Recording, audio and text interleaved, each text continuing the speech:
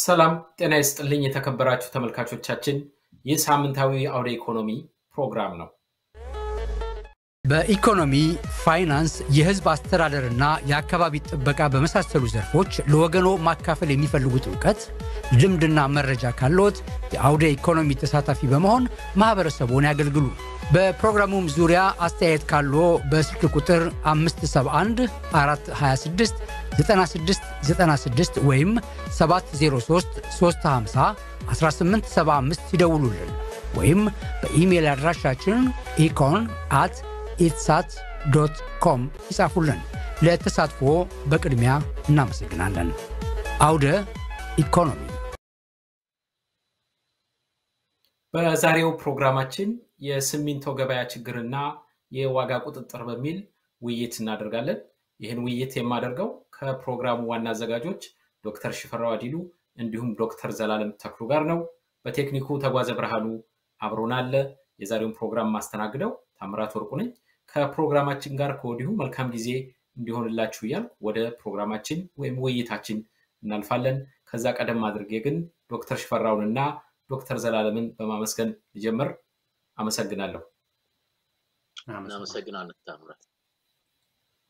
መልካም እንግዲህ ቅድም እንደጠቀስኩት ዛሬ እንደው specific በሆነ ጉዳይ ላይ ነው ውይይት የምናደርገው። ቀደም ብዬ እንደተናገርኩት የሲሚንቶ ገበያን በሚመለከት ዛሬ የውይይት አጀንዳችን አድርገን እንወያያለን። ለዚህ የተወሰነ background information እንዲሁ መንደርደሪያ ያህል ለመናገር ያህል እንደሚታወቀው ቀደም ባለው ጊዜ እንግዲህ በ1980ዎቹም ብሎ እንደው ለማነጻጸሪያ የሆነ ታይም የሆነ ጊዜ ለማነጻጸሪያ እንውሰድ ካልን ኢትዮጵያ ውስጥ የነበሩት የሲሚንቶ ፋብሪካዎች በጣም ጥቂት ነበሩ። አንድ ሁለት ሶስት እንደው በጣት የሚቆጠሩ ነበሩ። ከሀያ ሰላሳ ዓመት በኋላ ግን የሲሚንቶ ፋብሪካዎች ቁጥር በከፍተኛ ደረጃ እንዳደገ ይታወቃል። ቁጥራቸውን የተለያየ ያደርጉታል። አንዳንድ ሪፖርቶች እስከ ሀያም እንደሚያደርሱት ይገመታል። ምንም እንኳ ከፍተኛ የሆነ የሲሚንቶ ፋብሪካዎች ቁጥር ቢኖርም ከዛ ጋር ተያይዞ ከፍተኛ የሆነ የሲሚንቶ ምርት እንዳለ ቢገመትም የሲሚንቶ ዋጋ ከጊዜ ወደ ጊዜ እየናረ እንደመጣ መረጃዎች ይጠቁማሉ። ቀደም ሲል በመቶ ዶላር በመቶ ብር ይሸጥ የነበረ አንድ ኩንታል አሁን ግን ከ1300 400 ብር በላይ በመሸጥ ከአስር እጥፍ በላይ ያደገበትን ሁኔታ እናያለን እና ይህንን እስኪ አስታከው ውይይት እናደርጋለን። ከሰሞኑ በሲሚንቶ ላይ የተፈጠረውን የዋጋ መናር ለማስተካከል መንግስት በተለያየ የተለያየ እርምጃዎችን ለመውሰድ እየሞከረ እንዳለ መረጃዎች ይጠቁማሉ። ከዚህ ውስጥ በዋናነት የሚጠቀሰው የዋጋ ቁጥጥር ነው። ከሰሞኑ የንግድና ቀጠናዎች ትስስር ሚኒስቴር የሲሚንቶ ፋብሪካዎች ምርታቸውን የሚሸጡበትን ዋጋ አበጅቷል። አዲስ በወጣው የመሸጫ ጣሪያ መሰረት እነዚህ ሲሚንቶ ፋብሪካዎች ዋጋቸውን አሁን ከሚሸጡበት በአማካኝ ከዘጠና ሁለት ብር ቀንሰው በዘጠና ሁለት ብር ያህል ቀንሰው እንዲሸጡ ውሳኔ አሳልፏል። እንግዲህ እነዚህ የሲሚንቶ ፋብሪካዎች ማህበር አላቸው። የሲሚንቶ ፋብሪካዎቹ ማህበር ይህንን ውሳኔ አልተቀበለም። በዚህም ምክንያት የቅሬታ ደብዳቤ ለጠቅላይ ሚኒስትር ቢሮ እንዳስገባ ይሄ ማህበር የሪፖርተር ጋዜጣ ዘግቧል። እንደ ማህበሩ አገላለጽ ይሄ የወጣው የዋጋ ቁጥጥር ወይም የዋጋ ጣራ ሶስት መሰረታዊ ምክንያቶችን ያካተተ ወይም ያየ አይደለም ይላል። አንደኛ እነዚህ ፋብሪካዎች ያሉበትን ለገበያና ለግብአት አቅርቦት ያላቸውን ርቀት ያገናዘብ አይደለም። የአቅርቦት ዋጋ እየናረ መምጣቱን በተለይ ይቅርታ የግብአት ዋጋ እየናረ መምጣቱን እሱንም አላገናዘበም። ከዛ በተጨማሪ ደግሞ እነዚህ ድርጅቶች ወይም ፋብሪካዎች የሚጠቀሙበትን ቴክኖሎጂ የኃይል አጠቃቀማቸውን ሁኔታ እሱን ሁሉ ሳያገናዝብ ነው ጣራ ያስቀመጠው በሚል ቅሬታቸውን አቅርበዋል። ለማንኛውም ይህንን መሰረት አድርገን በሲሚንቶ ገበያ ችግርና ተያያዥ ጉዳዮች ላይ ውይይት እናደርጋለን። ዶክተር ዘላለም የመጀመሪያውን ጥያቄ ላድርግ ለአንተ ላድርግ። ቅድም እንደተናገርኩት ምንም እንኳ የሲሚንቶ ፋብሪካዎች ቁጥር በፊት ከነበረው በብዙ ጥፍ እንደጨመረ ቢገመትም የፋብሪካዎቹ ቁጥር ብቻ ሳይሆን ምርቱም ጨምሯል ብሎ ማለት ይቻላል። ነገር ግን በተቃራኒው ዋጋው በከፍተኛ ሁኔታ እየናረ የመጣበት ሁኔታ እንዳለ ነው የምናስተውለው እና ለዚህ ችግር መሰረታዊ ምክንያት ምንድን ነው የሚመስልህ? በተለምዶ የሰፕላይ ወይም ደግሞ አቅርቦት ከጨመረ እና ፋብሪካዎቹ ቁጥራቸው ብዙ ከሆነ price የመውረድ አዝማሚያ ነው የሚያሳየው። ይሄ የሆነ አይደለም፣ በተቃራኒው ነው የሆነ ያለው እና ምንድን ነው በአንተ በኩል ለዚህ የዋጋ መናር ምክንያት አድርገህ የምትወስደው? አመሰግናለሁ ታምራት። ትክክል ነው። አሁን ኢትዮጵያ ውስጥ ተከስቶ ያለው በተለይ በሲሚንቶ አቅርቦትና ዋጋ ላይ ያለው ችግር ትንሽ ግር የሚያሰኝ ይመስላል። ቅድም እንዳልከው እንደው በተለምዶ በሚታወቀው በዚህ በምጣኔ ሀብት አስተሳሰብ ሰፕላይ ወይም ደግሞ አቅርቦት ሲጨምር ዋጋ እየቀነሰ ነው መሄድ ያለበት።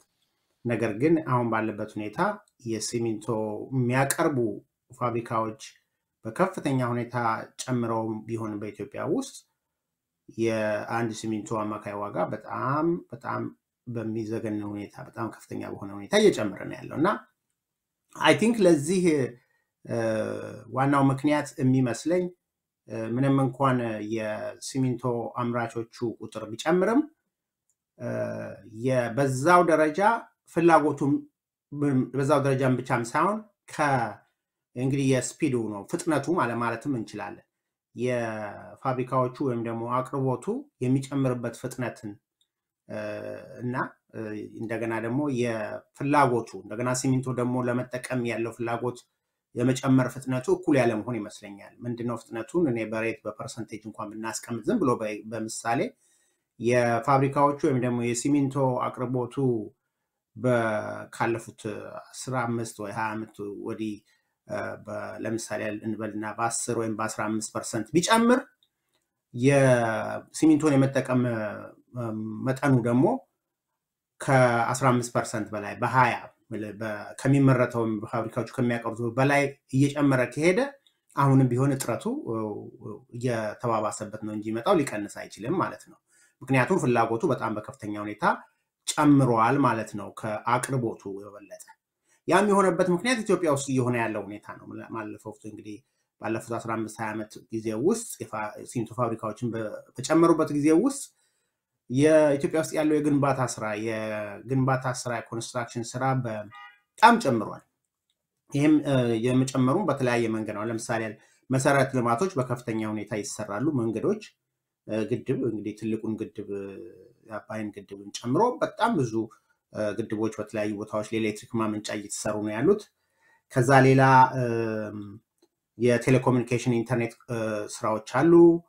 ኢንዱስትሪዎች እና የኢንዱስትሪ ዞኖች አሉ በየቦታው የሚሰሩ ትምህርት ቤቶች፣ የጤና ጣቢያዎች፣ ሆስፒታሎች፣ ክሊኒኮች፣ ኮሌጆች በጣም በብዙ የክልሉ የተቋቋሙበት ሁኔታ ነው ያለው። ባንክ አዲስ አበባ ውስጥ እንኳን ያሉት ባንኮች እነዛ ሰማይ ጠቀስ ባንኮች የተሰሩት ምሳሌ ነው። በዚህ ላይ እነዛ ባንኮች በየቦታው branch ከፍተዋል። ስለዚህ ለዛ ሁሉ ማቋቋም አለባቸው።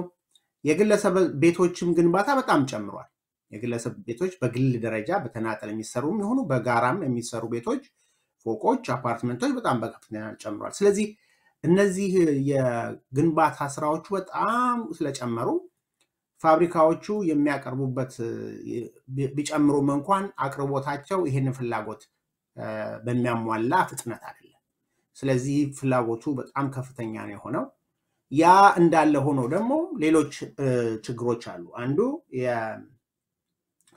አንዱ የአቅርቦቱ ሰንሰለት ላይ የአቅርቦቱ ሰንሰለት ላይ በጣም የተንዛዛ የአቅርቦት ሰንሰለት አለ። እንግዲህ በፋብሪካ አምራቾቹ እና አምራቾቹ አምርተው ግንባታውን በሚሰሩት ወይም ደግሞ የቤት ለምሳሌ ቤት ለሚሰሩ ሰዎች መካከል ያን ሲሚንቶ እስኪያገኙ ድረስ ያለው የአቅርቦት ሰንሰለቱ በጣም የተንዛዛ ነው ብለን ስንል ለምሳሌ ያህል መሆን ያለበት አምራቾቹ አሉ።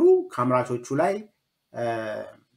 ሆልሴለሮቹ አሉ። እነዚህ ጅምላ ሻጮች፣ ከጅምላ ሻጮች ቸርቻሪዎች፣ ከቸርቻሪዎች ነው ወደ ኮንሱመሩ ወደ በላተኛ ወደ ተጠቃሚ መሄድ ያለበት። ነገር ግን በነዛ በነዛ መካከል ብዙ የህገወጥ የሆኑ ደላሎች አሉበት። እነዛ ህገወጥ የሆኑ ደላሎች ከዛ ጋር ደግሞ ተያይዞ ደግሞ ከእነዚህ ህገወጥ ደላሎች ጋር ደግሞ ተያያዥነት ያላቸው የመንግስት ባለስልጣኖች፣ የፋብሪካው ባለ ኃላፊዎች ህገወጥ በሆነ መንገድ ከነዚህ ደላሎች ጋር በመሀል እየገቡ ይህን አቅርቦቱን በትክክለኛው ሰንሰለት በገበያው ሰንሰለት እንዳይሄድ ከዛ መሀል ላይ እየገቡ ባለበት ሁኔታ ላይ የራሳቸውን ስራ ስለሚሰሩ supply ኡን አቅርቦቱን በተወሰነ ጊዜ እንዲያዝ የማድረግ ነገር አቅጣጫ የማስቀየር በተለያዩ መንገዶች ዋጋውን ሆን ብለው artificially ከገበያው ስርዓት ውጭ እንዲጨምር የሚያደርጉበት ነገር አለ እና ያ ያ ሁኔታዎች እነዚህን ችግሮች አባብሰውታል። ፋብሪካዎቹ ለጠቅላይ ሚኒስትሩ ባቀረቡት ማመልከቻ ላይ እንደተጠቀሰው የራሱ የፋብሪካዎቹም የአቅም ችግር አለ። የአቅሙ ችግር በጥሬ ዕቃ እጥረት ነው። የውጭ ምንዛሪ ያስፈልገዋል። ብዙዎቹ ጥሬ ዕቃዎች ለሲሚንቶ መስሪያ የሚያስፈልጉት ጥሬ ዕቃዎች ከውጭ የሚመጡ ናቸው። ኬሚካሎች ናቸው። የተለያዩ ኬሚካሎች ናቸው የሚያስፈልጉት። እነዛ ሁሉ ከውጭ መምጣት ያለባቸው ናቸው። ለዛ ውጭ ምንዛሪ ያስፈልጋል። የኤሌክትሪክ ኃይል አቅርቦት እንደሚታወቀው ኢትዮጵያ ውስጥ እንግዲህ ላለፉት ሀያ ዓመታት እጥረት አለ። ስለዚህ ፋብሪካዎችም አንዳንድ ጊዜ የሚቆሙበት ጊዜ አለ። ስለዚህ በሙሉ አቅማቸው እየሰሩም አይደለም። ስለዚህ እነዚህ እነዚህ ሁሉ ሁኔታዎች አስተዋጽኦ አድርገው ስለሆነ አቅርቦቱን የባሰ እያሳነሰው እያሳነሰው ችግር እየሄደበት ይሄዳል። በዚህ ምክንያት ዋጋው በጣም እየናረ ይሄዳል። ከቁጥጥር ውጭ በሆነ መንገድ የመንግስትም ደካማ የሆነ የመቆጣጠር ችሎታ፣ በተለይ ደግሞ ዋጋ ላይ ወደኋላ ላይ እንነጋገራለን። ዋጋ ላይ ሳይሆን ሌሎች ቦታዎች ላይ መቆጣጠር የሚቻልበት ነገር አለ። እነዛ እነዛን ባለመስራቱ ይመስለኛል። ስለዚህ ያ ነው ለችግሩ ምክንያት የሆነው እንጂ I think normal የሆነውን የፅንሰ ሀሳብ የኢኮኖሚክስ ፅንሰ ሀሳብ violate ያደረገ አካሄድ አይደለም ለማለት ነው። አመሰግናለሁ። በጣም ጥሩ ዶክተር ዘላለም እንግዲህ በአንተ በኩል ሶስት መሰረታዊ ምክንያቶችን ለዚህ ለዋጋ ንረቱ ነው ያስቀመጥከው። አንደኛ በአጠቃላይ የዴማንድ እና ሰፕላይ የምንለው የአቅርቦትና ፍጆታ የሚያድጉበት መጠን የተጣጣመ ላይሆን ይችላል። የፍጆታው በከፍተኛ ፍጥነት እያደገ ሲሆን ያንን ፍጆታ ለማሟላት ደግሞ አቅርቦቱ በዛ መጠን እያደገ አይመስልም የሚል ነው። ሌላ የገበያ ሰንሰለቱ ላይ ያጋጠመ ችግር አለ። የመንዛዛት እና ህጋዊ ያልሆኑ አክተሮች ሁሉ የመግባት ሁኔታ አለ።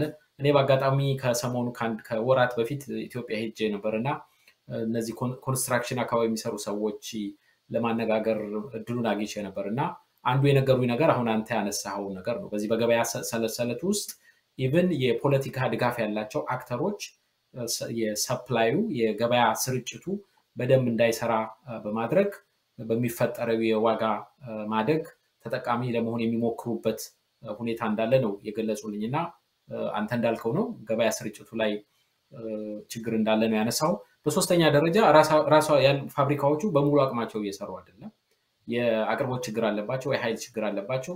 በዚህ ምክንያት even supply ኡ ወይም ደግሞ አቅርቦቱም ችግር እንደገጠመው ነው ያነሳኸው። ዶክተር ሽፈራው ወደ አንተ ልምጣ። እንግዲህ ዶክተር ዘላለም የሄደበት አለ እኔም ተመልሼ እንዲሁ ወደሚቀጥለው የጥያቄ እንዲወስደኝ ዶክተር ዘላለም ያቀረበውን ሀሳብ ጠቅለላ አድርጌ ያቀረብኩበት አለ እና አንደኛ ይሄ መጀመሪያ በተነሳው ጥያቄ ላይ አንተ ለምትጨምረው የምታጠናክረው ሀሳብ ካለ ልትሄድበት ትችላለህ። ከዛ በተጨማሪ አሁን ዶክተር ዘላለም እንደጠቀሰው እኔም ደግሞ እንደምስማማበት ችግሩ ይሄ ሆኖ ሳለ መንግስት ሁኔታውን ለመቆጣጠር በሚል እየወሰደ ያለው እርምጃ አለ። በዋናነት የመሸጫ ዋጋ ጣራ ወይም ደግሞ የገበያ ዋጋ ቁጥጥር ማድረግን ነው የመረጠ የሚመስለው ለጊዜው። ቅድም መግቢያም ላይ ጠቅሻለሁ። even እነዚህ ፋብሪካዎች ዋጋ ቀንሰው እንዲሸጡ መመሪያ ወጥቶ ያንን ተግባራዊ ለመድረግ እየተሞከረ ነው። ይሄ መመሪያ የሚያዋጣ እና ችግሩን ሊፈታ የሚችል መንገድ መስሎ ይታይሃል? እዛ ላይ ያለ አስተያየት ምንድን ነው ዶክተር ሽፈራው? እሺ፣ አመሰግናለሁ ታምራት። በመጀመሪያ የተነሳው ጥያቄ ላይ ጥሩ አድርጋችሁ ሄዳችሁበታል። ምናልባት የተወሰኑ ቁጥሮችን ለመጨመር ያህል አቅርቦትና ፍላጎቱ የሚለው አንዳንድ ግምቶችን ያየሁት የተጠኑ ጥናቶች ላይ ኢትዮጵያ ውስጥ አሁን ያሉ የሲሚንቶ ፋብሪካዎች የማምረት capacity ያቸው እስከ አስራ ሁለት ነጥብ አምስት ሚሊዮን ቶን በአመት ሲሚንቶ ማምረት እንደሚችሉ ነው የሚያመለክተው። actually አንዳንድ estimate ኦች እንደውም እስከ አስራ ስድስት ሚሊዮን ድረስ የሚያስቀምጡት አለ። ግን even ዝቅ ያለውን አስራ ሁለት ነጥብ አምስት ሚሊዮን ቶን ማምረት ይችላሉ የሚለውን ብንወስደው በሌላ በኩል ደግሞ ፍላጎቱም አሁን ያለው ኢትዮጵያ ውስጥ ያለው ፍላጎት 12 ሚሊዮን አካባቢ ነው። 12 ሚሊዮን ቶን አካባቢ ነው ያለው ፍላጎት የሚል estimate አለ። አሁን ያሉ ኢትዮጵያ ውስጥ ያሉ ቅድም ዶክተር ዘላለም ሄዳቸው የተለያዩ construction ኖችን ጨምሮ የሚያስፈልጋቸው በአመት ያን ያህል ነው 12 ሚሊዮን ቶን። አንድ ቶን ማለት አስር ኩንታል ነው በነገራችን ላይ። ስለዚህ 12 ሚሊዮን ቶን ስንል 120 ሚሊዮን ኩንታል ሲሚንቶ እንደማለታችን ነው። ስለዚህ እሱ ነው ያለው። ግን በአሁኑ ጊዜ ግን የሚመረተው ያለው actually ዘጠኝ ሚሊዮን ቶንም አይሆንም ነው በአመት። ስለዚህ ፍላጎቱ 12 ሚሊዮን ቶን ከሆነ የሚመረተው ደግሞ ዘጠኝ ሚሊዮን ቶን አካባቢ ከሆነ ያ የአቅርቦትና የፍላጎት አለመጣጣም አለ። ቅድም እናንተ ያነሳችሁት ማለት ነው። ቁጥሩ clearly የሚያሳየው ነገር ይሄን ነው። ይሄ አጭር አሁን የቅርብ ጊዜ ችግር አይደለም፣ የቆየ ችግር ነው። የሲሚንቶ ችግር ኢትዮጵያ ውስጥ የቆየ ችግር ነው። ከሁለት ዓመት በፊት ይመስለኛል እንደው መንግስት import አግዶ የነበረውን ፈቅዶ ልክ ይህንን gap ያህል እንዲገባ ያደረገበት ሁኔታ ነበር። ወደ ሰላሳ ሚሊዮን ኩንታል ሲሚንቶ ከውጭ እንዲመጣ ያደረገበት ሁኔታ ነበር። እንግዲህ ይሄ ያለውን በአቅርቦትና በፍላጎት መካከል ያለውን gap ለመሙላት ብሎ መንግስት ያደረገው ነገር ማለት ነው። ስለዚህ I think ያ import የማድረግ እንትን ይዘጋ ይዘጋ አላውቅም፣ ግን አሁን ያለው የውጭ ምንዛሬ ችግርም ስላለ ያን ማድረግ አይቻልም። ስለዚህ አገር ቤት ያሉት ደግሞ አምራቾች የሚፈለገውን ነገር ሊያቀርቡ አልቻሉም። ለምንድን ነው በ capacity ደረጃ ያላቀረቡት ለሚለው አሁን ቅድም የሄዳችሁበት ነገር ነው። የተለያዩ ምክንያቶች ያነሳቸውን አልሄድባቸውም። ምናልባት አንድ የምጨምረው ነገር ፋብሪካዎች ያነሱት ነገር የጸጥታ ችግር ነው። ምክንያቱም ሲሚንቶ የሚመረተው የ limestone የሚባሉ clay እንደዚህ እንትኖች አሉ፣ ንጥረ ነገሮች አሉ፣ ከመሬት የሚቆፈሩ ናቸው። limestone በሃ ድንጋይ ነው ምናምን ነው የሚባለው በአማርኛ ይመስለኛል። እነዚህ ነገሮች ናቸው። እንደውም አሁን ሲሚንቶ ሰባ አምስት percent ምናምን የሚሆነው ይሄ በሃ ድንጋይ የሚባለው ነው። እሱ ነው ተፈጭቶ እንትን ብሎ ከሌሎች ነገሮች ጋራ ሚክስ እንዲደረግ ተደርጎ እንትን የሚለው ማለት ነው። አሁን ይሄንን ቦታ መቆፈር አለበት እና አንዳንድ ቦታዎች ከጸጥታ ችግር የተነሳ ረጅም ሰዓት መቆፈር አይቻልም። ለምሳሌ አንድ ብዙ ጊዜ 16 ሰዓት ነው መቆፈር ያለብን፣ ግን በጸጥታ ችግር የተነሳ ቀን ቀን ብቻ 10 ሰዓት ነው። ስለዚህ ሰፕላው ከዛ ከግብአቱም ችግር ኢትዮጵያ ውስጥ ከሚመረተው ማለት ነው ችግር አለ እና የጸጥታ ችግርን ያነሱበት ሁኔታ አለ። ይሄ እንግዲህ አገሪቱ ውስጥ ያለ ችግር ነው። አይደ ነው ምናልባት ከትግራይ ትግራይም ውስጥ እንደዛ ላይምስቶን እንትን እንትን ይመስለኛል። ምክንያቱም ሪች የሆነ አካባቢ ነው። እንግዲህ ያም እየሆነ ላይሆን ይችላል በአሁኑ ጊዜ። ስለዚህ ያንን እንደ ችግር ናይ። ስለዚህ የሰፕላይ ዲማንድ ችግር ነው የሚለው በዋናነት እንትን አንድ ነገር ልጨምር ላይ ባይዘወይ ይሄ ነገር በተወሰነ ደረጃ strange በሆነ መንገድ ጥሩ news ም ነው in a way ቤት እየሰራ ያለ ሲሚንቶ አቶ የተቋረጠበት ሰው ጥሩ አይደለም። ለ builder ኡ ሲሚንቶ ሲቋረጥ ጥሩ እንዳልሆነ ይገባኛል። ግን አጠቃላይ የኢትዮጵያን ኢኮኖሚ ስናይ ግን የ construction ስራው ጥሩ እየሄደ እንደሆነ እናያለን። ማለት demand ኡ መኖሩ ኢትዮጵያ በተለያየ እንትን ውስጥ እያለፈች እያለች still ግን የ construction ስራው በጣም still demand ኡ እንዳለ even የኢትዮጵያን እድገትም still fuel የማድረግም capacity ያለው መሆኑን የሚያመለክት ስለሆነ strength ወይ ጥሩም news ነው ብለን ማየት እንችላለን ብዬ ነው ማሰብ። መጥፎ side ኡ ምንድን ነው? momentum ኡን keep ካላደረግ ችግር ይፈጥራል። አንዱ ችግር እሱ ነው። ሌላው ነገር ኢትዮጵያ ውስጥ አሁን ግጭቱን በምንም የተነሳ የወደሙ ነገሮች እንደገና እነሱም ይፈልጋሉ። አሁን ትምህርት ቤቶች ቅድም ዶክተር ዘላለም ያነሳው ትምህርት ቤቶች፣ ክሊኒኮች መስራት አለ። ግን አሁን አንዳንዶቹ የሚሰሩት የወደሙት ናቸው በጦርነቱ ምክንያት። ስለዚህ እየገነቡ የማፍረስም ነገርም ስላለ እሱንም እንደ ሀገር ከዛም መውጣትም ይሄን ራሱ ችግርም የጸጥታው ችግርም ጋር የሚገናኝ ነገር ነው ያቃለላል ብዬ ተስፋ አደርጋለሁ። ወደ አነሳው ሌላው ጥያቄ ስመጣ የዋጋ ቁጥጥር ይሰራል ወይ መንግስት የወሰደው እርምጃ ምናልባት ትክክል ነው ወይ ለሚለው ውሳኔዎቹ የዋጋ ቁጥጥሩ እንግዲህ factory ፋብሪካዎች ላይ ነው ያደረገው። ፋብሪካዎች ከ510 እስከ 683 ባለ range ውስጥ እንድትሸጡ ነው ያላቸው። ይሄ range የሆነበት ምክንያት ሲሚንቶ የተለያየ grade ስላለው ነው። ሁሉም ሲሚንቶ አንድ አይነት አይደለም። የተለያየ grade ያላቸው አሉ። የተለያዩ ፋብሪካዎች produce የሚያደርጉ ሲሚንቶ ትንሽ እንትኑ grade ኡ የተለያየ ነው፣ quality ው የተለያየ ስለሆነ ነው። የሆነ ሆኖ ግን ከዚህ ጎን ደግሞ ሌላ መንግስት ያወጣውም ህግ አለ። ለምሳሌ ግለሰቦች በአንድ ጊዜ ከ15 ኩንታል በላይ መውሰድ መግዛት አትችሉም አለ። ይሄ ምንድነው? hoard የሚያደርጉ አሉ። ከሚፈልጉት በላይ እየወሰዱ አገሪቱ ካለው inflation የተነሳ የሚደብቁ አሉ፣ hoard የሚያደርጉ አሉ። እሱን ለማስቀረት ነው የሚለው ነገር አለ። አሁን ይሄ ጥሩ ነገር ነው ብዬ አስባለሁ። እነዚህ ሰዎች የምትሰራው በ15 ኩንታል ብቻ አይደለም። ከዛ በላይ የምትፈልግ ከሆነ ተመልሰህ መግዛት ትችላለህ ነው። Yes የተወሰነ transaction cost ሊፈጥር ይችላል። ያ ግን at least ይሄ መደበቅ hoard ማድረጉን ሊያስቀር ይችላል የሚል አለ። እሱም በጣም significant የሆነ ነገር ነው።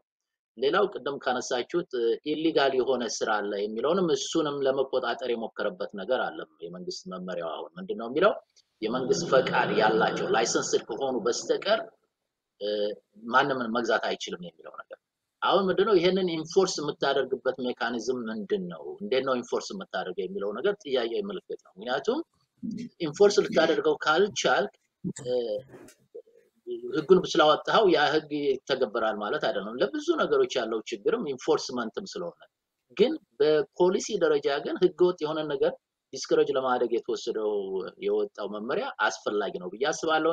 ኮዲንግን ለማቆም ተብሎ የወጣው መመሪያ አስፈላጊ ነው ብዬ እላለሁ። ግን በሌላ በኩል ግን አሁን አንዱ ችግሩ ለአጭር ጊዜ እንኳን እንደው ይሰራል ብለን ብንል የዋጋ ቁጥጥሩ የዋጋ ቁጥጥሩን ያደረገው factory ው ላይ ነው።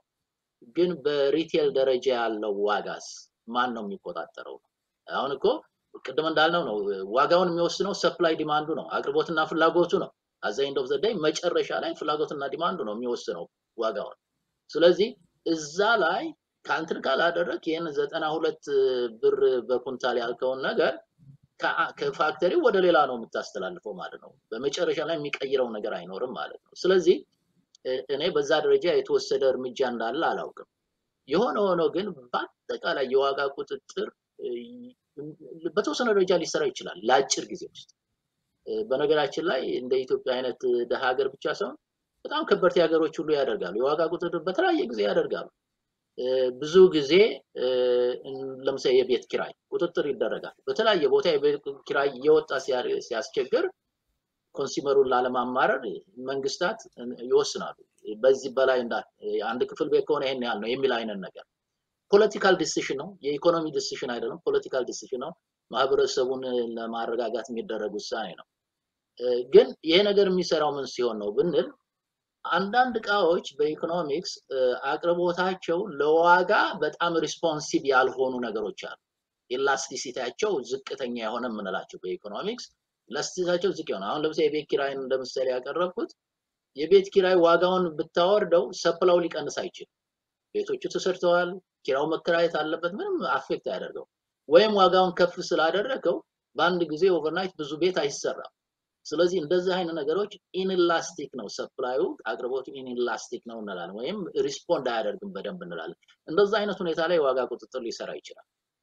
ግን quantity ውን produce የምታደርገውን የምታቀርበውን quantity ውን መቀነስና መጨመር የምትችላቸው easily አሁን ለምሳሌ ሲሚንቶ ትችላለህ። ምንድነው ሰራተኛ lay off ማድረግ ትችላለህ። input ኡን መቀነስ ትችላለህ። በተለያዩ supply ውን ልቀንሰው ትችላለህ እና elastic ነው supply ው ማለት ነው። ምን ያህል elastic እንደሆነ አላውቅም። የራሱን የቻለ calculation ያስፈልጋል። ግን እንደ የቤት ኪራይ አይነት ነገር አይደለም። ስለዚህ inelastic የሆነ ነገር ከሆነ የዋጋ ቁጥጥር ይሰራል ለተወሰነ ጊዜ ለአጭር ጊዜ ውስጥ ግን እንዳልኩ ሌሎቹ አሁን ለምሳሌ ያለ hoarding ን discourage ለማድረግ የተወሰዱ እርምጃዎች illegal የሆኑ ህገወጥ የሆኑ ነገሮችን ለማስቀረት እነዛ ነገሮች ጥሩ ናቸው። ለተወሰነም ጊዜ ቢሆን ይሰራሉም አስፈላጊም ናቸው። in the long term ም አስፈላጊ የሆኑ ፖሊሲዎች ናቸው። ምክንያቱም መንግስት በተወሰነ ደረጃ ገበያውን መርዳትም ስላለበት ማለት ነው። አንዳንድ ጊዜ market failure የምንለው ነገር አለ አይደለ? መንግስት እሱን መርዳት ስላለበት እንደዛ አይነቶች ህጎች አስፈላጊ ሊሆኑ ይችላሉ። የዋጋ ቁጥጥር ግን long term አይሰራም፣ አስፈላጊም አይደለም የዋጋ ቁጥጥር። ምክንያቱም የማይሰራበት ምክንያት በሁለት አንድ ምሳሌ እንውሰድ። ለምሳሌ የአንድ ነገር ዋጋ የጨመረው demand ኡ ጨምሮ ከሆነ ፍላጎቱ ጨምሮ ከሆነ የዋጋውን ቁጥጥር ስላደረግ የዋጋውን የዛን ነገር ዋጋ ዝቅ ስላደረግ ያ ፍላጎት አይጠፋም፣ አይቀንስም። ስለዚህ በፍላጎት ደረጃ ያለውን ነገር ልትቀይረው አትችልም anyways።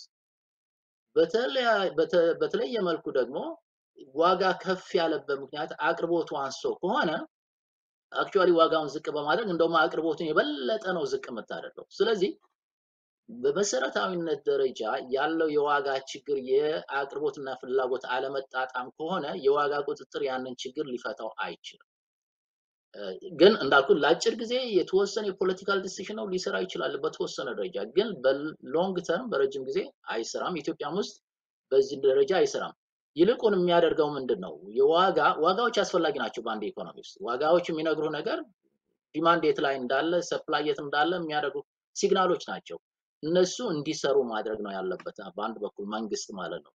ሌላው ነገር አሁን ቅድም እንዳልነው እናንተ mention አድርጋችሁታል። አንዳንድ ጊዜ እንደዚህ አይነት ህጎች ስታመጣ ይህን ህግ የሚያስፈጽመው ክፍል የኪራይ ሰብሳቢነት ስራ እንዲሰራ encourage ሊያደርግ ይችላል። ለምሳሌ የምትሰጠው ፈቃድ የምትሰጠውን በጉቦ ሊሆን ይችላል፣ በተለያየ ነገር ሊሆን ይችላል። ስለዚህ ምናልባት ከ factory ዎቹ ወስደህ ያንን ገንዘብ ሌላ ኪራይ ሰብሳቢ ኪስ እንዲገባ ልታደርገው ትችላለህ።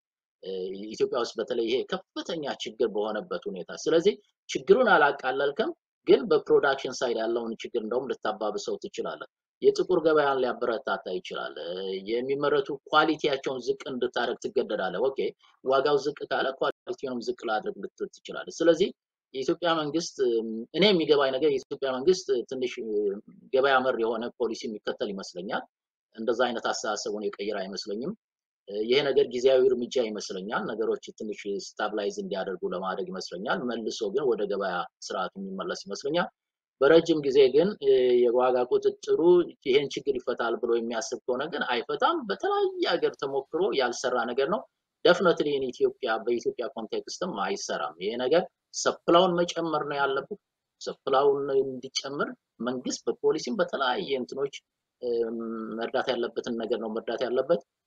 ግን ዋጋ ተቆጣጥሬ በዚሁ ችግሩን አቃላለሁ የሚል ከሆነ ሎንግ ተርም እንደውም የበለጠ ሌላ ችግር ነው የሚፈጥረው ብዬ ነው የማስበው። ታምራት መልካም ዶክተር ሽፈራው ቀደም ብሎ ዶክተር ዘላለም ለዚህ ለዋጋው መናር ከጠቀሳቸው ሶስት መሰረታዊ ምክንያቶች አንድ አንተ የጨመርከው ነገር የጸጥታ ችግር የሚለውን እንደው እሱ ለማጠናከር ያህል በኢትዮጵያ የሲሚንቶ ገበያ ውስጥ I think የሞሰቦ ሲሚንቶ የተወሰነ አስተዋጽኦ እንደነበረው ይታወቃል። ከትግራይ የተመረተ በመላ ሀገሪቱ በሞሰቦ ሲሚንቶ ፋብሪካ አማካኝነት የተወሰነውን demand ለማርካት ይውል እንደነበረ መገመት ይቻላል። አሁን በጸጥታ ችግር ምክንያት ይሄ ፋብሪካ ጠቅላላ አገልግሎት መስጠት ያቆመበት ሁኔታ እንዳለ ነው የሚሰማኝ። በአሁኑ ወቅት ከትግራይ የተመረተ ምንም ሲሚንቶ ወደ ኢትዮጵያ የሚሄድበት ሁኔታ የለም። አካባቢው በከፍተኛ ሁኔታ ጦርነት የታመሰ እንዳለ ነው የሚያሳየው። ስለዚህ I think አንተ ያልከው የሚያስማማ ሀሳብ ይመስለኛል። የጸጥታውም ችግር በመጠኑም ቢሆን በዚህ በ supply ኡ እንዲያንስ አቅርቦቱ እንዲያንስ አስተዋጽኦ አድርጓል ብዬ አምናለሁ። እንደው አንተ ባነሳው ላይ ይህንን ለመጨመር ነው። ዶክተር ዘላለም ወደ አንተ ልምጣ።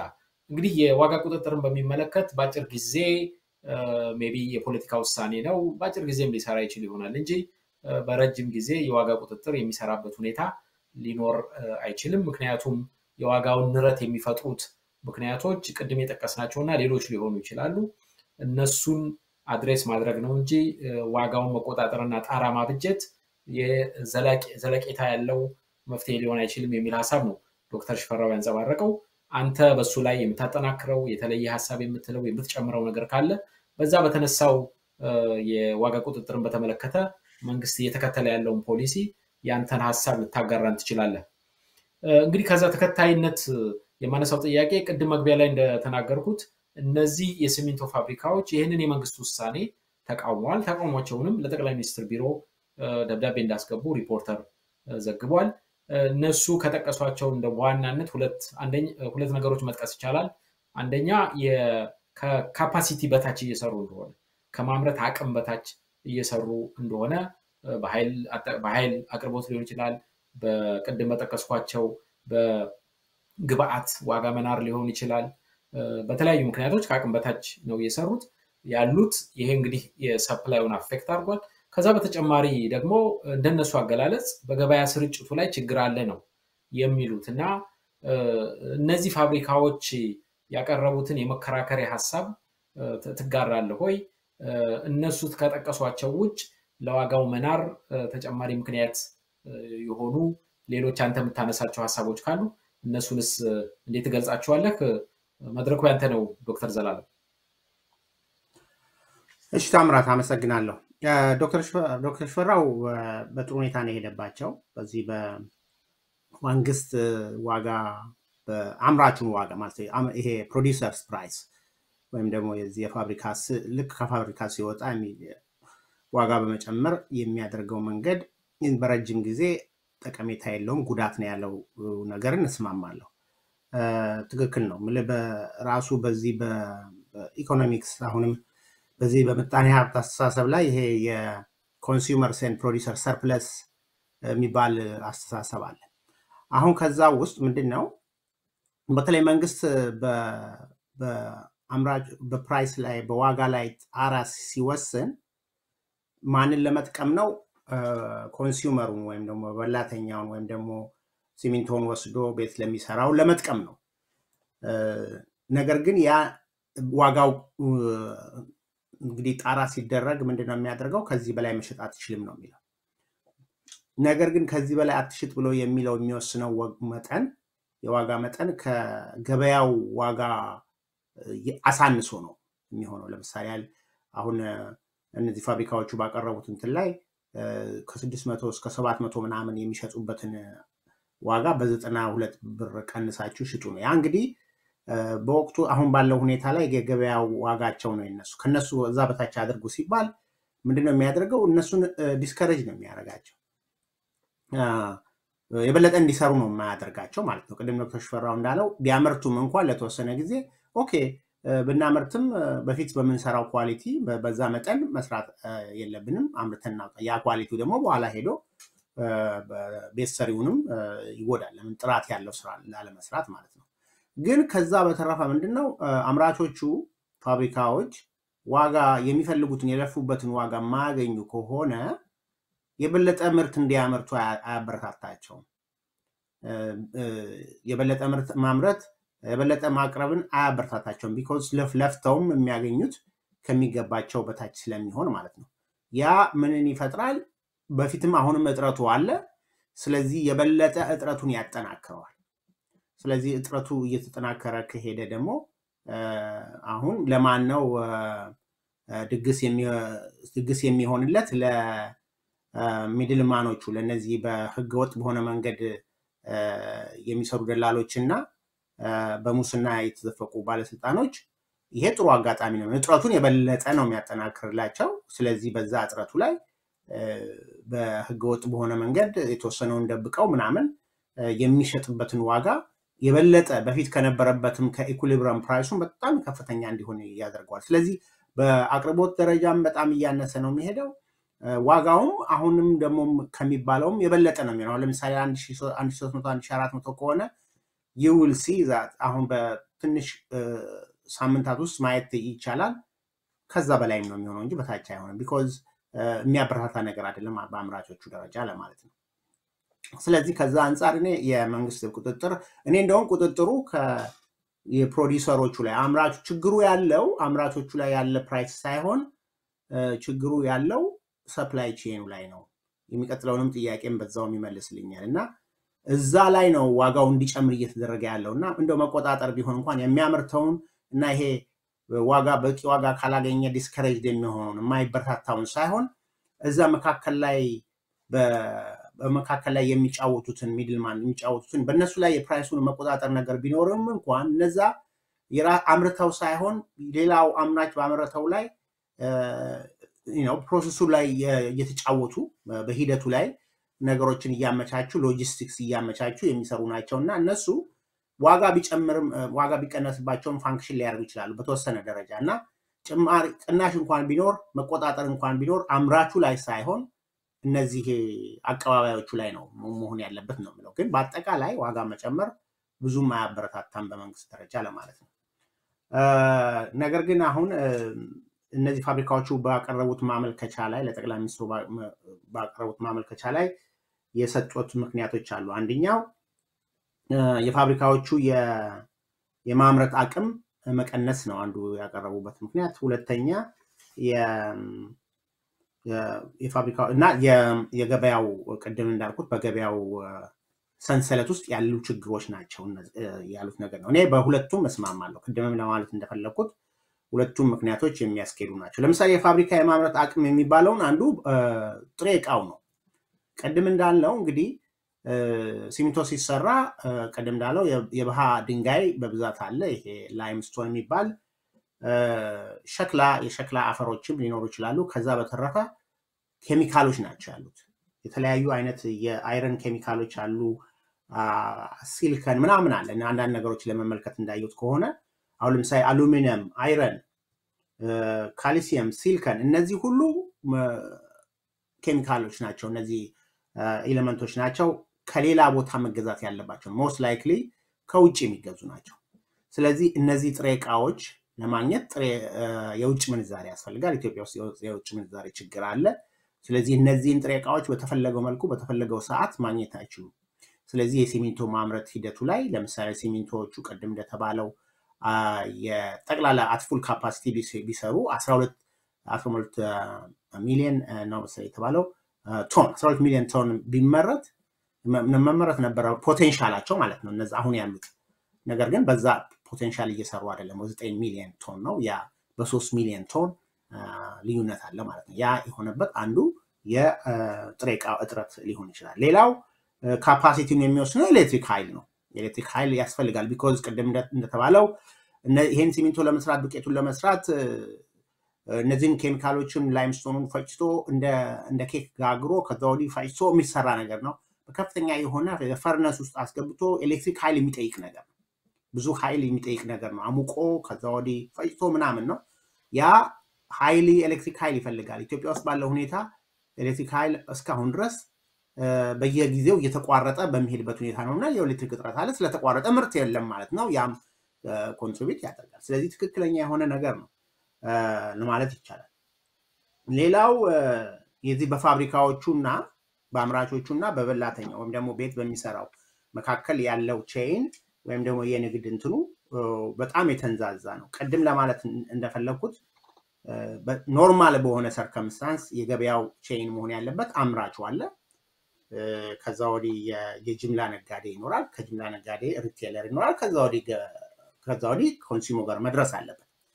ያ እንደውም በቢዝነስ ላይ የሚባል ነገር አለ። ይሄ business to business እና business to consumer ግንኙነት አለ። አሁን ከአምራቹ ወደ wholesaler ኡ ያለው የ business to business ነው። አንድ business to business አለ። ከ wholesaler ኡ ወደ retail ኡ አሁንም ቢዝነስ ነው። ስለዚህ ሁለት chain ነው ያለው business to business ያለው business to consumer አንድ chain ነው። ከዛ ወዲህ ከ retailer ኡ ወደ consumer ኡ የሚሄደው አንድ chain ነው። ነገር ግን አሁን ኢትዮጵያ ውስጥ ባለው ሁኔታ በዚህ በእጥረቱ፣ በአሰራር ድክመቱ፣ ሌሎችም ነገሮች ተያይዞ ያንን supply chain ከሶስት relationship ወደ ስድስት ከፍ ያደርገዋል። ምን ለማለት ነው? በፕሮዲውሰሩና በአምራቹና በጅምላ ሻጩ መካከል ህገወጥ የሆነ ደላላ ይኖራል። እንደገና ደግሞ ከሆልሴለሩ ወይም ደግሞ ከጅምላ ሻጩ እስከ ሪቴሉ እስከሚሄድ ድረስ ሌላ የህገወጥ የሆነ ደላላ ይኖራል። እንደገና ደግሞ ከቸርቻሪው እስከ በላተኛው እስኪደርስ ድረስ ሌላ እንደዚሁ ህገወጥ የሆነ ደላላ ይኖራል። ተመልከት፣ ያ ያንን chain ከነበረበት በ double ያሳድገዋል ማለት ነው። በዛ ጊዜ ውስጥ ሁሉ ምንድነው የሚሆነው? premium መሰብሰብ አለባቸው። ያንን ከአንዱ chain ወደ አንዱ ሲሄድ በዛ ባለው ላይ ይሄ አለ። ከዚህ የእሱ የሰራበትን የተወሰነ ኮሚሽን ይወስዳል። ሌሎችም የተወሰነ ኮሚሽን ይወስዳሉ። እነዛ እነዛ ሁሉ የት ላይ ነው መንጸባረቅ ያለባቸው? ዋጋው ላይ ነው መንጸባረቅ ያለባቸው። ስለዚህ ዋጋውን ለምሳሌ እንግዲህ በዚህ process እንኳን double ካደረገው ከወጣበት ዋጋ በሰባት መቶ እና ምናምን የሆነውን አንድ ሺ አራት መቶ ቢደርስ double ነው ያደረገው። እንደዚሁም ብሎ simple የሆነ mathematics እንኳን ብንጠቀም ማለት ነው። ስለዚህ ያ chain ኑ በጣም የተንዛዛ ነው የሆነው እና ያ ትልቅ አስተዋጽኦ አድርጓል ማለት ነው እና ከዛ በተጨማሪ ደግሞ እኔ የምለው ምንድን ነው I think ሌሎችም አስተዋጽኦ የሚያደርጉትን ነገሮችም ይመስለኛል። እኔ የራሱ የፋብሪካዎቹም የራሳቸውም ድክመትም የሚኖር ይመስለኛል። ማለት ይሄ innovative የመሆን ነገር ለምሳሌ ፈጠራ ነገር ወይም ደግሞ ተባብሮ መስራት ያለመቻል። ለምሳሌ ያህል ሌሎች company ዎች አሁን ሌላም ዓለም ላይ የምናየው አለ። ይሄ partnership የሚባል ነገር አለ። partner አንድ ላይ ሆነው ችግራቸው ማን ነው የቱ ነው ችግራቸው ቢባል supply chain ኑ ነው ችግራቸው አይደለም። እንደሚታየው ከሆነ supply chain ኑ ላይ ነው ትልቅ ችግር ያለው። ያንን በማቃለል ሂደት ውስጥ በራሳቸው በኩል የሚያደርጉት ጥረት አለ ወይ? ለምሳሌ ከመንግስት ብቻ ከመጠበቅ ይልቅ ሌሎች company ዎች እንደዛ ያደርጋሉ። አንድ ላይ ሆነው ያንን ይሄ KPI የሚባል ነገር ሰምታችሁ እንደሆነ ይሄ key performance indicator የሚባል ነገር አለ። በዚህ አንጻር ውስጥ ለእነዚህ ቢዝነሶች ዋናው ችግሩም ያለው መንቀሳቀስ ያለባቸው supply chain ኑ ላይ ነው። የነሱ ችግርም ምኑ ያንን ከፈቱት ብዙ ነገር ሊፈቱ ይችላሉ። አንዱ መንገድ ፈጠራ መሆን ያለበት ለምሳሌ አንድ ላይ ሆነው ሎጂስቲክስን የማመቻቸት የማሳለጥ ነገር መስራት ቢችሉ አንዱ የማቃለል ነገር ይመስለኛል። ስለዚህ ችግሩ የመንግስትም ላይም ችግር አለ፣ supply chain ኑ ላይ አለ፣ በ capacity ችግር አለ። ነገር ግን በራሳቸው ውስጥም ችግር ያለ ይመስለኛል። ይሄ የ management ችግር ሊሆን ይችላል፣ creative የመሆን ነገር እና እነዛ ነዛን ሁሉ መስሎ ነው የሚታየኝ። በአጠቃላይ ግን ያቀረቡት ሀሳብ ተገቢ ነው፣ የምደግፈው ነው ለማለት ነው። መልካም ዶክተር ዘላለም I think ጥሩ ጥሩ ሀሳቦችን አንስታል። ዶክተር ሽፈራው እንግዲህ ዶክተር ዘላለም ባለው ላይ በተለይ የቅሬታ የቀረበበትን ሙሉ ደብዳቤውን ማየት ባንችል በሪፖርተር ደጋግም እንደጠቀስነው የተዘገበውን ስናይ ከሞላ ጎደል በዋናነት ከአቅም በታች እየሰሩ መሆኑን ሌላ ደግሞ አሁን ዶክተር ዘላለም ያቀረበው አለ። በስርጭቱ ወይም በገበያው መካከል ሌሎች ህጋዊ ያልሆኑ actors እንደሚገቡበት እና supply chain ኑን በማርዘም መጨረሻ consumer ኡ በሚደርስበት ጊዜ ዋጋው እንዲንር የማድረግ የዛን አይነት ሁኔታ እንዳለ የጠቀሱበት ነው ያለው። ችግሩ ሆኖ ሳለ የዋጋ ቁጥጥር ማድረጉ መፍትሄ የሚሰጥ ሀሳብ አይደለም የሚል አይነት ተቃውሞ እንዳቀረቡ ነው የሚሰማኝ። የእነዚህን የፋብሪካዎቹን ያቀረቡትን ምልህ አጋጣሚውን አይተህ የሪፖርተርን መረጃ አይተው ከሆነ or አሁን የገለጽነውን መሰረት በማድረግ ያንተስ እይታ በእነሱ ላይ የእነሱን ሀሳብ እንዴት ነው የምታየው የሚለው ላይ የምትጨምረው ነገር ካለ እሱን ልትጨምርበት ትችላለህ። ቅድም አንድ ያነሳው ነገር አለ ከዛ ጋር ተያይዞ እንደው እሱን ለማለት እፈልጋለሁ።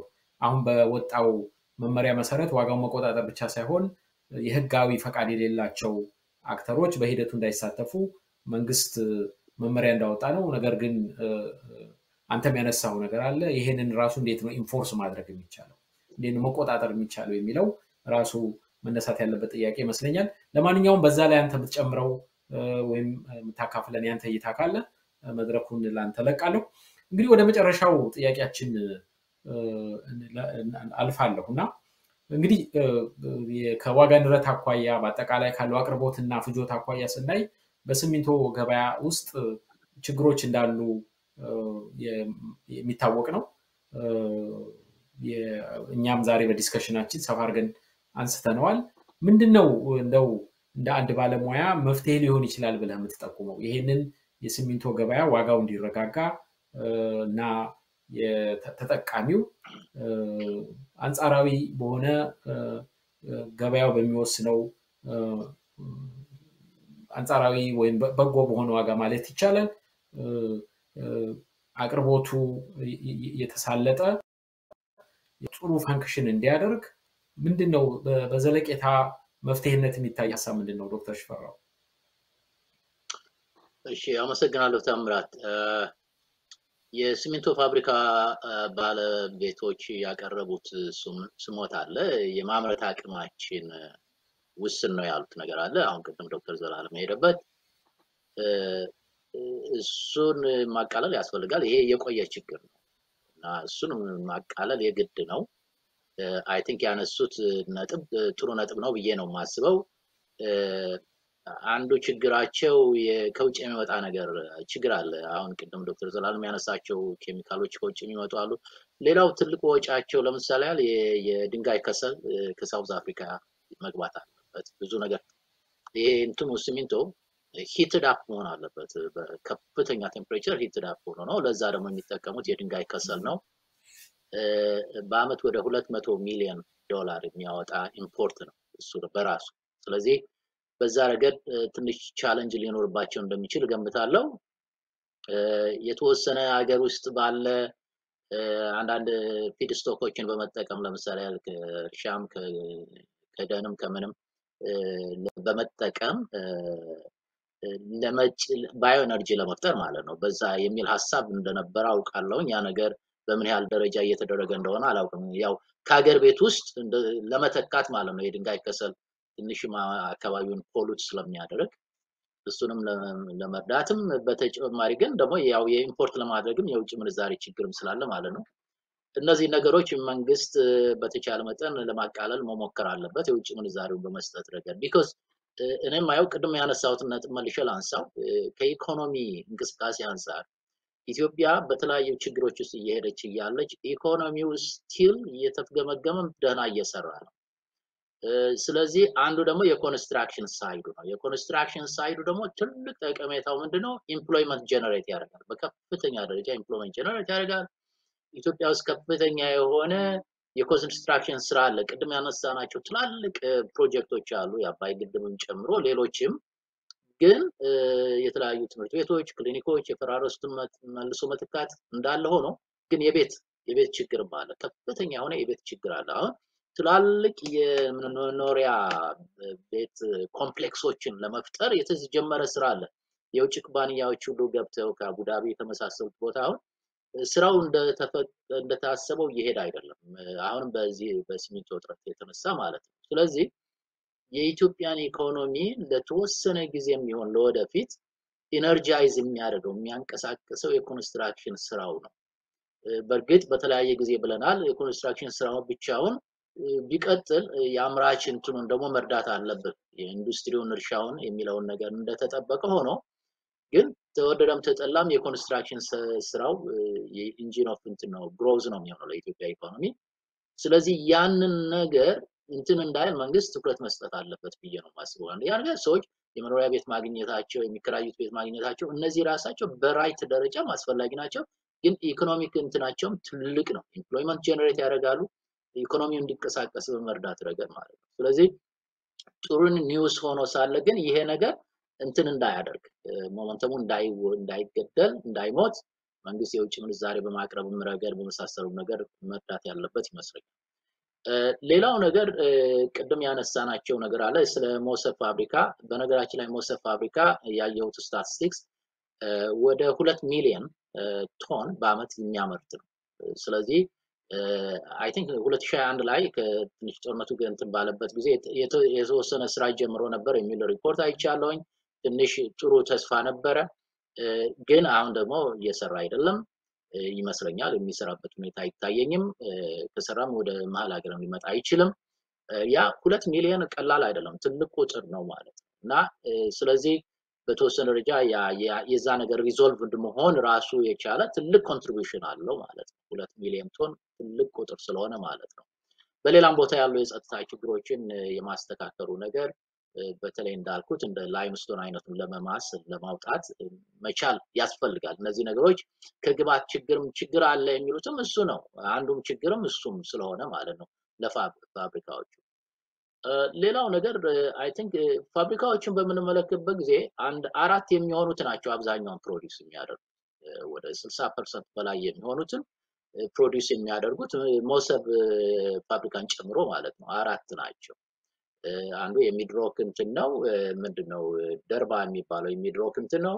የዳንጎቴ አለ፣ ሌላው የሙገር አለ። ከሞሰብ ጋር ሆነው አራቱ ወደ ስልሳ አንድ percent በላይ የሚሆኑ produce የሚያደርጉት እነሱ ናቸው። ስለዚህ ሌሎቹ ትናንሾች አሉ፣ ግን የእነሱ functioning አላውቅም በምን ያህል መንገድ capacity ያቸውን እየተጠቀሙ እንደሆነ። ግን እነዚህ ነገሮች በቅርብ የማየት ነገር አለ። በተለይ እነዚህ ትላልቆቹ company ዎች በሆነ ችግር ምክንያት ቢያቆሙ መለዋወጫ አጥተው whatever እንትኑ damage ኡ ትልቅ ነው የሚሆን ከፍተኛ ነው እና እነዚህን ነገሮችም ግንዛቤ ውስጥ ማስገባት ያለበት ይመስለኛል መንግስት። ቅድም ያነሳናቸው ነገሮች አሉ። ህገወጥ የሆነ ነገር ህገወጥ የሆነን ነገር የሚያበረታታው የእጥረት ችግር ነው በመሰረቱ fundamentally የእጥረት ችግር ሲኖር ነው ያንን advantage የሚመቱ ኃይሎች የሚፈጠሩት። በቂ supply ቢሆን ኖሮ middle man ኡ ሁሉ አያስፈልግም።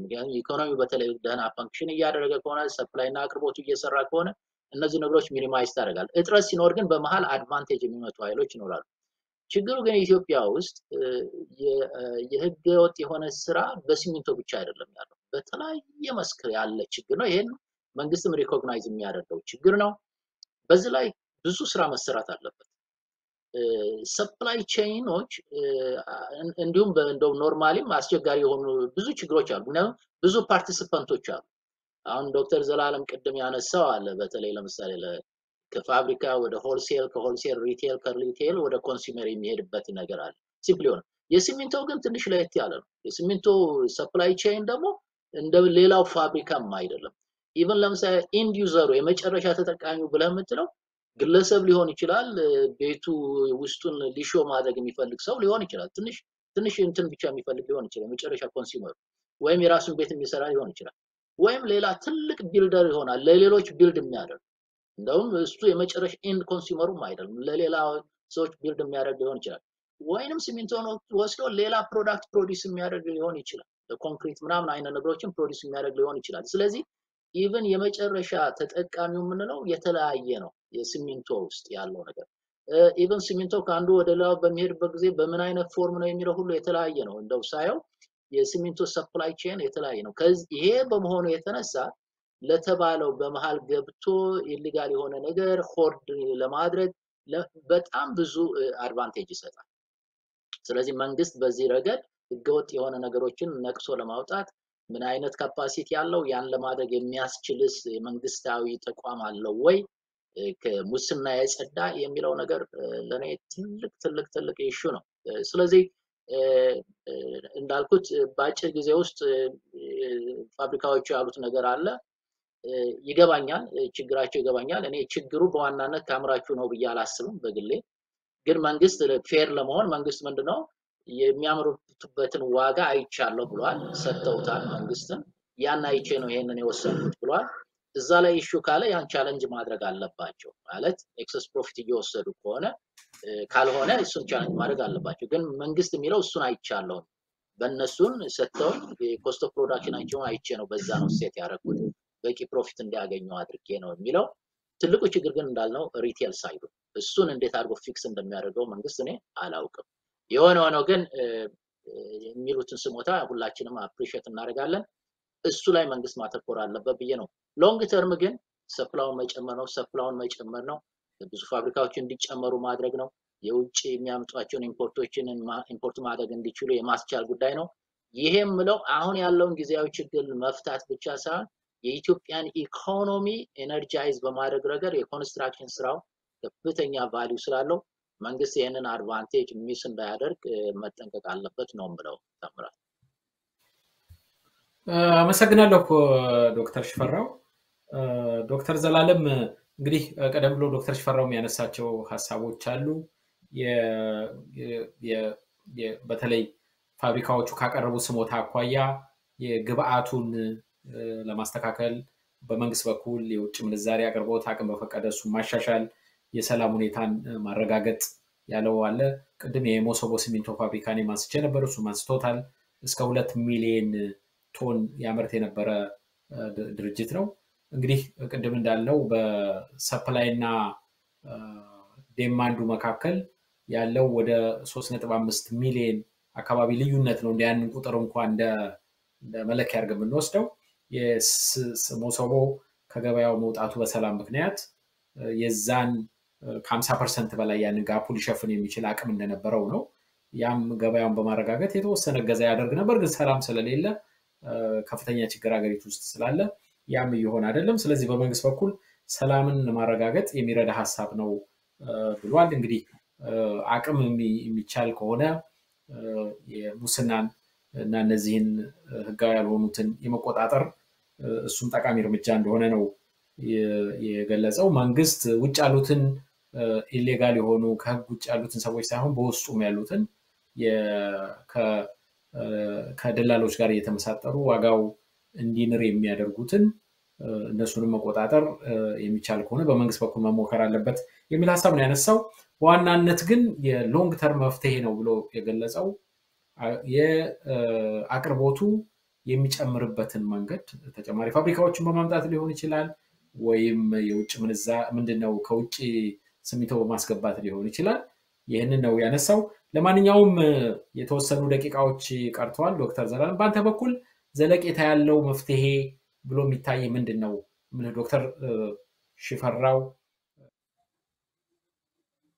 የተለየም ሀሳብ ካለህ እሱን እድል ልስጥህና የዕለቱን ውይይታችንን ቋጭ።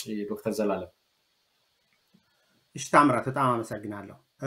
ቅድም ዶክተር ሽፈራውም ወይም አንተም እንዳላችሁት የመጀመሪያው ነገር እነዚህ በ supply chain ኡ ላይ በህገወጥ መንገድ የሚነግዱትን አቀባባዮች ወይም እና መንግስት ደግሞ በመንግስት በኩል በሙስና ተያይዞ ያሉትን መንግስት identify አድርጎ በዛ በኩል ያለውን ነገር መቆጣጠር ከዛ chain ውስጥ እንዲወጡ የማድረግ ነገር የግዴታ ነው።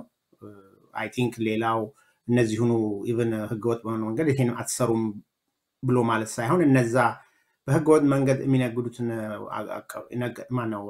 ደላሎችን ራሱ ህጋዊ ሆነው እንዲሰሩ ማድረግ ማድረግ በህጋዊ መንገድ እንዲሰሩ አድርጎ ነገር ግን stringent የሆነ ሊያሟሉት የሚገቡትን ነገር ያ ከሰሩ በትክክል በዚህ ethics ን በተከተለ መንገድ ህግን በተከተለ መንገድ እንዲሰሩ በሚያደርግ requirement ን ያሟሉትን ህጋዊ አድርጎ መሄዱም ለመከታተልና ለመቆጣጠርም ስለሚረዳ ወደ ህግን ማምጣትም ያስችላል። ወይ ደግሞ ወንጀል የሚሰሩ ከሆነ ወደ ህግ ማቅረብ እና ከዛ እንዲወጡ ማድረግ አስፈላጊ ነው የምለው።